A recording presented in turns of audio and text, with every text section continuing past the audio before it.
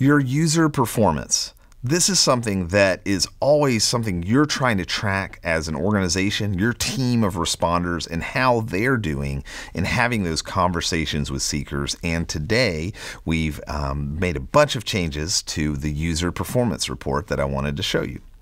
As we look at the user performance report, what we can see here now is a few new things. First, starting at the top, don't forget you can select your sources and you can select your permission sets. So you can go in now with permission sets and choose just your team that you want to especially pay attention to. Or maybe you want to see all the permission sets and see everyone inside of Echo. That's your choice now inside that top left area.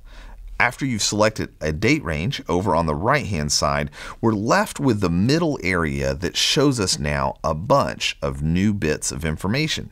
So going from left to right, let's just take a quick look at these. We have the name of the user, we have their email address, we can see how many claimed conversations they claimed during this particular timeline. We can see how many active conversations they have going on right now.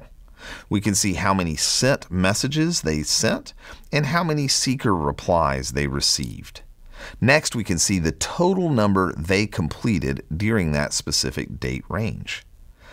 After that is the hours online.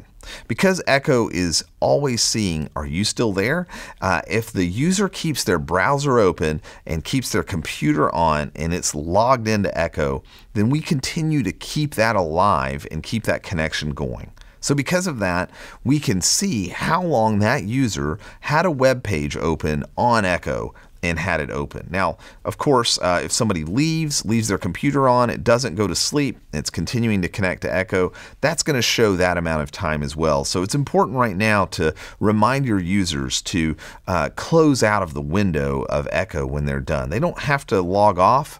Uh, we'll know just by them closing that window.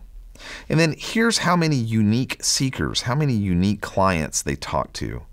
And then we break that down by the different um, uh, conversation channels that you have enabled in Echo. So in this case, you can see Facebook and chats, Telegram, uh, text, email, etc. And so those, of course, will vary based off of your version of Echo and which uh, channels you're using inside of Echo.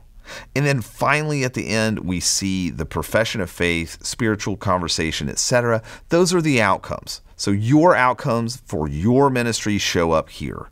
So now, in one comprehensive report, you can see how many claimed, how many they're inactive right now, how many they sent and received, how long they were online, how many people they talked to, uh, which different conversation types they used, and what their different outcomes were. So now with this report, in that one spot, you can see all of that information and with the new advancements of being able to choose the permission set, you can dial it in to a specific team for a specific date range and see exactly what that team is doing. We hope this gives you some additional confidence in what's happening with your team and also will help you see ways that you can encourage and coach your team to continue to have them to improve in what they're doing. As always, if you have any questions, let us know. We would love to hear them. And if you're interested in using Echo, go to echoglobal.org and contact us there. We'd love to have a conversation with you and hear more about your ministry. Thanks for watching.